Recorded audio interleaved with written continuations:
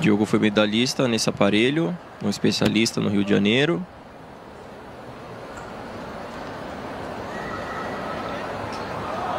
Faz um desloque com meia, excelente, ligado ao Kachev estendido. Um Kachev afastado, ligado de Kachev na posição carpada.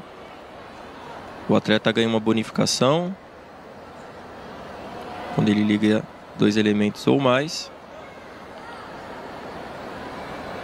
Foi ali para o desloque na cubital. Faz um Stalder. Se aproxima aí da saída.